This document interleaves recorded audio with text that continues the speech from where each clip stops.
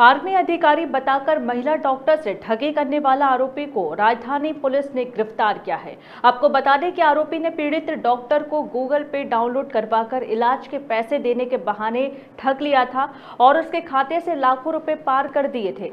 महिला की शिकायत पर कार्रवाई करते हुए पुलिस ने आरोपी को गिरफ़्तार कर लिया है। वहीं गिरफ़्तार किए गए आरोपी से आधार कार्ड, क्रेडिट कार्ड और पैन कार्ड भी बरामद कर लिए हैं।